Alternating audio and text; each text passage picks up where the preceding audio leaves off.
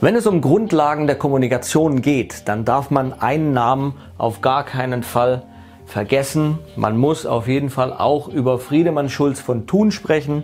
Und der gute Herr von Thun, der hat damals, 1981 glaube ich, war das das Vier-Ohren-Modell ins Leben gerufen, hat das der äh, Öffentlichkeit präsentiert. Ähm, du kennst es vielleicht auch unter Kommunikationsquadrat oder vier Seiten einer Nachricht.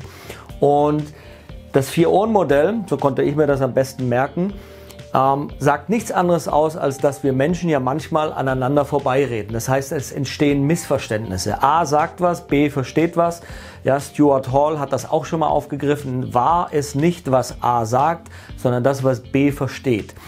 Du hast bestimmt schon mal eine Situation gehabt, wo du gemerkt hast, du hast äh, oder der andere hat dich nicht richtig verstanden. Ne? Vielleicht hast du sogar den Satz äh, benutzt, ja, da haben sie mich aber falsch verstanden. Das ist so nicht richtig. Also wenn dir das wieder passiert, gerade im Kundengespräch, dann sag besser, da habe ich mich wohl missverständlich ausgedrückt. Es gibt vier verschiedene Art und Weisen, wie wir etwas interpretieren, was unser Gegenüber eben sagt.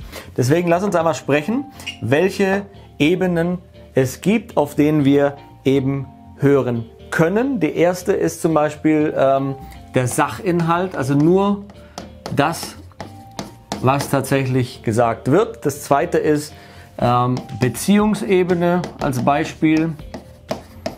Wie du das anordnest, ist eigentlich egal. Das dritte ist Offenbarung. Und das vierte, mein Lieblingsohr, mein Lieblingsmund auch, ist das Appellohr. So, was bedeutet das jetzt? Lass uns das einfach mal anhand einer Aussage zum Beispiel von zwei Menschen, die sitzen im Auto, Situation Klassiker, sitzen im Auto, ähm, fahren da durch die Stadt und hören Musik. So, jetzt sagt der eine zum anderen oder die eine sagt zum anderen, das Lied ist toll. Sachinhalt ist, das Lied ist toll.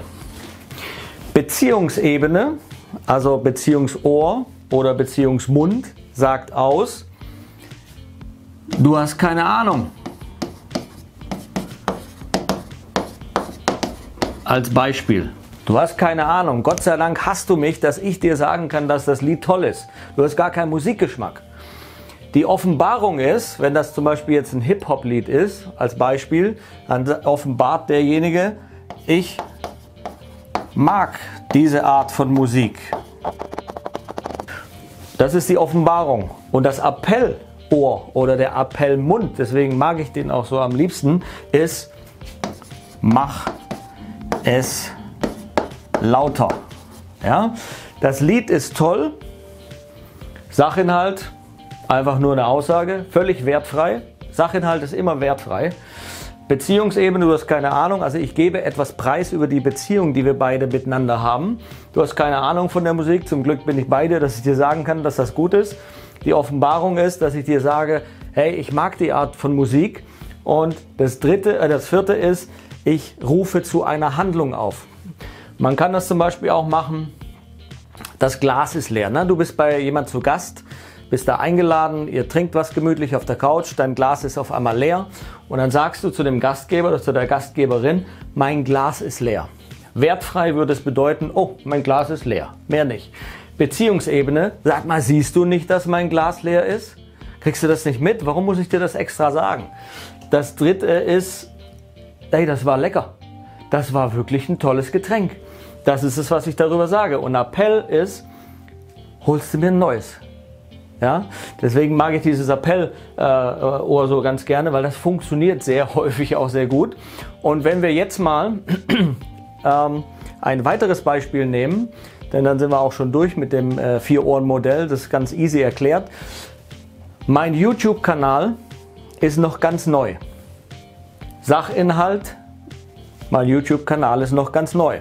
Beziehung, sag mal, hast du das nicht gesehen, dass der noch ganz neu ist? Muss ich dir das extra jetzt hier sagen? Offenbarung ist, hey, mein YouTube-Kanal ist noch ganz neu, ich mag das hier, ich habe gerade angefangen damit und ich brauche noch ganz viele Follower oder Abonnenten oder Likes. Appell, wenn es dir gefallen hat, Daumen hoch, wenn nicht, Daumen runter, wenn nicht, dann bitte auch gerne einen Kommentar, warum. Und wenn du es magst, dann schreib mir auch gerne in die Kommentarfelder was rein. Darüber freue ich mich nämlich. Und wenn das an dein Appellohr ging, dann freue ich mich umso mehr. In diesem Sinne, bis zum nächsten Mal.